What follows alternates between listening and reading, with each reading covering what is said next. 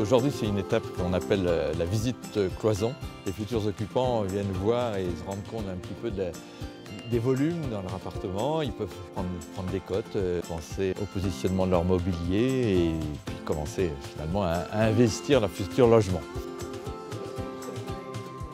Ce matin, j'attendais ça depuis très longtemps puisque je voulais vraiment voir euh, ce que donnait euh, l'appartement, la surface habitable. Je suis venue avec euh, Madame Joncourt, qui est une cuisiniste indépendante, prendre les codes pour savoir si les projets de cuisine pouvaient être réalisables dans cet appartement.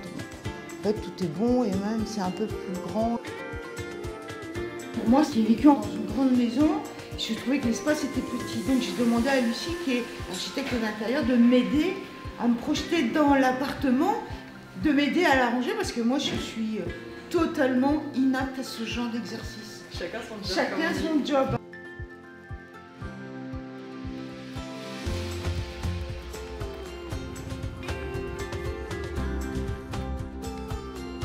Voilà, on se rend plus compte aussi maintenant du futur définitif on a fait quand même quelques changements. Et puis là, on se rend encore plus compte, donc ça va permettre de plus s'imaginer. on a déjà choisi notre chambre. Donc voilà, là, ça permet d'avoir une bonne vue d'ensemble, justement, avec les cloisons, et de commencer à voir où on va mettre les choses et, comment on va s'installer.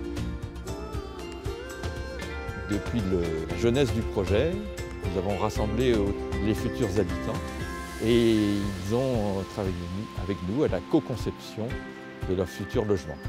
On est d'ailleurs la première coopérative avec une autre euh, de l'Est à être labellisée Calicop en France. C'est justement le côté euh, coopératif où on pouvait s'arranger entre locataires et propriétaires pour aménager les, parties communes, les jardins. On a eu deux réunions sur la commune et la dernière en janvier sur euh, le jardin. Du coup, j'ai fait connaissance avec des futurs locataires et des propriétaires. Et du coup, avec deux autres personnes, on se rencontre de temps en temps.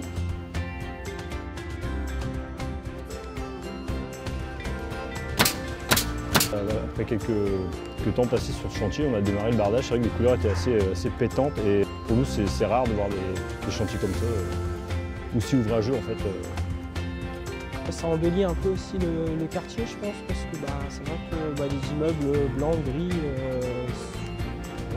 c'est bien aussi, mais euh, voilà, ça rajoute, un, ça rajoute un cachet, ça rajoute un charme aussi. Et, et ça dénature pas du tout le paysage, donc c'est ce qui est aussi euh, agréable.